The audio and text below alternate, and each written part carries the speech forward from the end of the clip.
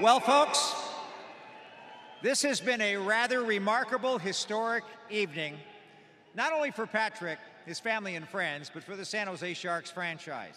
It's a milestone achievement that will not only stand as a reminder of one of the most memorable eras of Sharks hockey, but a really a, a permanent celebration and a tribute to one of the greatest players in NHL history. Congratulations to Patrick, to Christina, and the boys. And thanks to all of you fans for packing SAP Center at San Jose to be part of this special night.